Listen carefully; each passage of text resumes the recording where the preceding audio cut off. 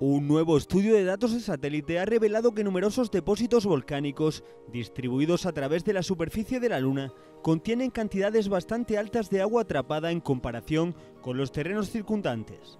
El hallazgo de agua en estos antiguos depósitos, que se cree que consisten en cuentas de vidrio formadas por la erupción explosiva de magma procedente del profundo interior lunar, refuerza la idea de que el manto del satélite es sorprendentemente rico en agua. Los científicos habían asumido durante años que el interior de la Luna se había reducido de agua y otros compuestos volátiles.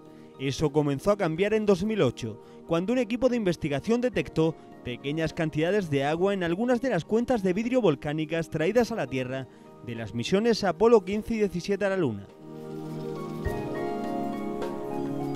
En 2011, el estudio adicional de pequeñas formaciones cristalinas dentro de esas cuentas reveló que en realidad contenían cantidades similares de agua como algunos basaltos de la Tierra. Esto sugiere que el manto de la Luna, partes de él por lo menos, contienen tanta agua como el de la Tierra.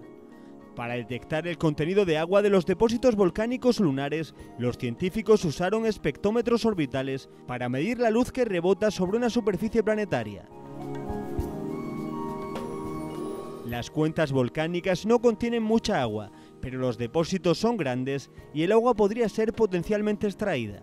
Además de arrojar luz sobre la historia del agua en el sistema solar temprano, la investigación también podría tener implicaciones para la futura exploración lunar.